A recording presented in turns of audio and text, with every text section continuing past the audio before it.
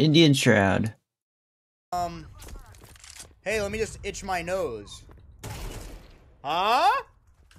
Oh, but Shroud has hair, so like he's just the coolest guy ever. But little old Squeaksy? Oh, cringe.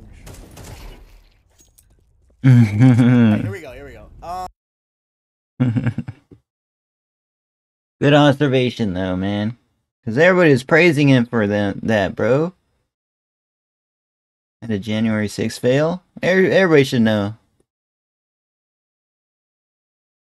Air 64 all day. yeah, apparently he's good at uh, CS2 as well, bro.